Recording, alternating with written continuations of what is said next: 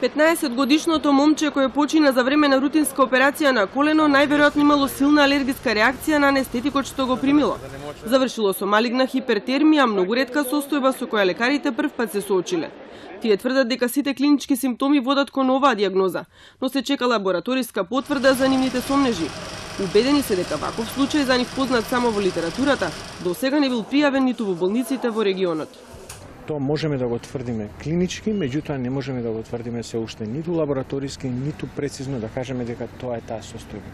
Како и да е се работи за една состојба која на на нестандардна и агресивна и е многу ретка состојба на кое што организамот снажно реагира на некои од инхалационите анестетици кои што се применуваат. И анестезиолозите во одбрана на нивните колеги велат направиле се да го спасат момчето.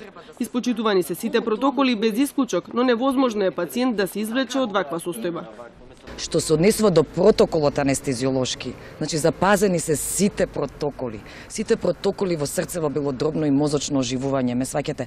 Значи, во суштина, ние не можеме да најдеме во, за, за ова време колку што успеавме, нели комисијата што успеа, не најдовме одстапување во тие протоколи.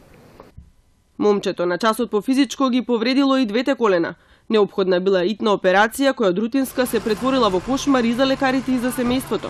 Покрај судска медицина, со утврдување на причините што довеле до ваквиот исход, формирани е внатрешна лекарска комисија на ургентен.